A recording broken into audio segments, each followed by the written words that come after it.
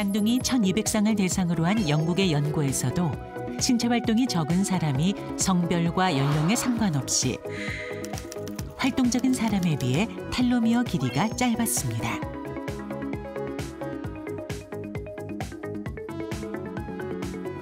또 다른 연구에서는 생활 습관을 바꿨더니 텔로미어 길이에도 영향을 미쳤다는 결과가 있습니다.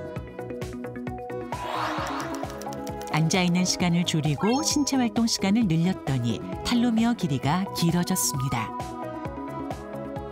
텔로미어 길이는 딱 정체돼 있는 이게 고 뭐라고 그러죠 고정돼 있는 게 아니라 변화 가능하거든요. 그렇게 단기간에 변하진 않, 않지만 꾸준한 생활 습관의 변화, 좋은 식생, 식생활 습관, 운동, 뭐 여러 가지 활동들을 한다면 분명히 지금보다는 짧아지는 게 어, 느려질 거고 또는 더 길어질 수도 있다고 돼 있습니다.